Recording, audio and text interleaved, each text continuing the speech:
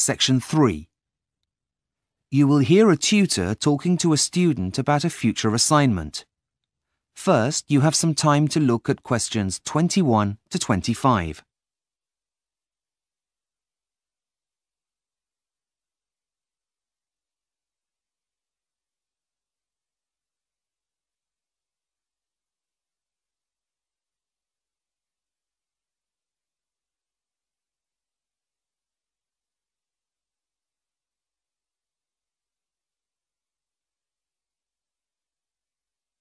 Now listen carefully and answer questions 21 to 25.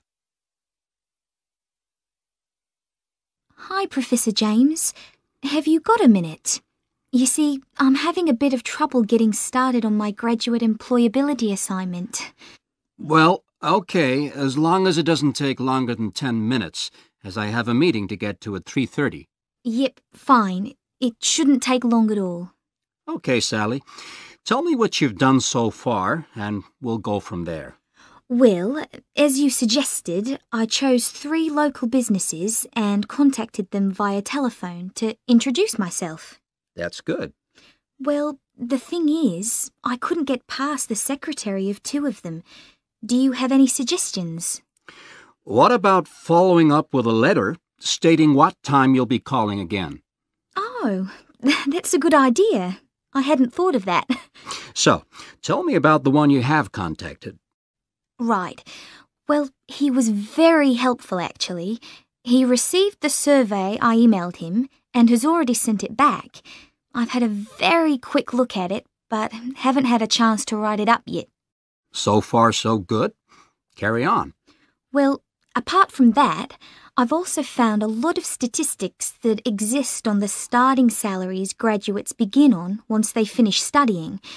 There's some really interesting stuff out there.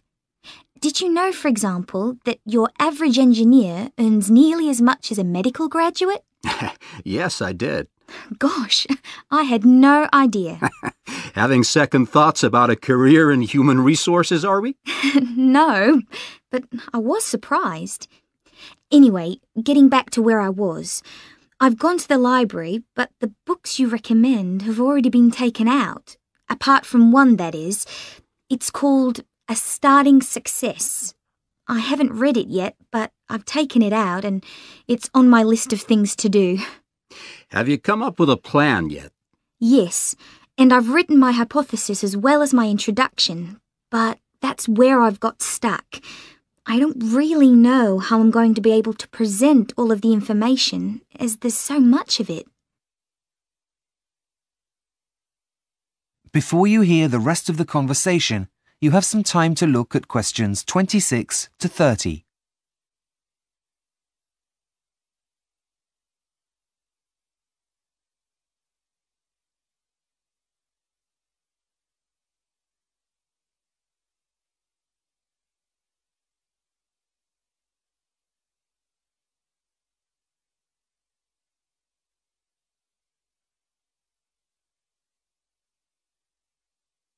Now listen and answer questions 26 to 30.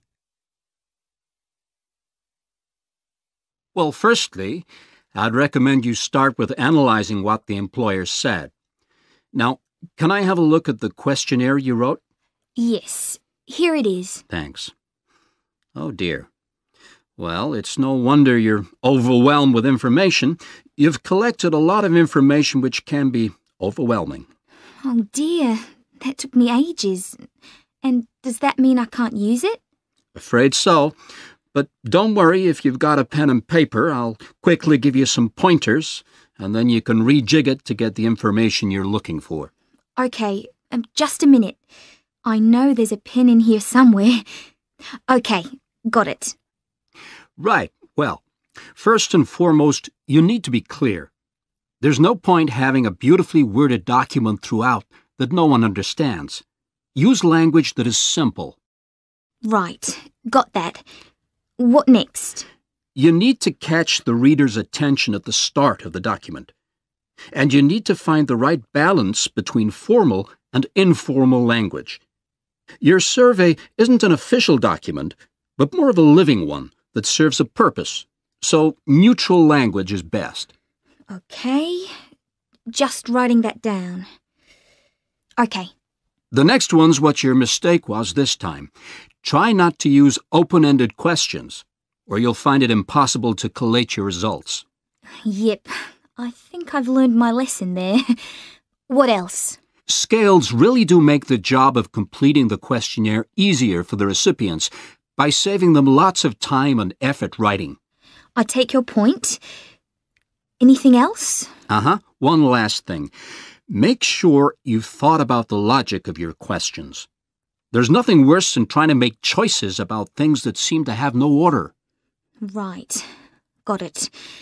I see where I went wrong now, and will try to do better next time. Don't worry.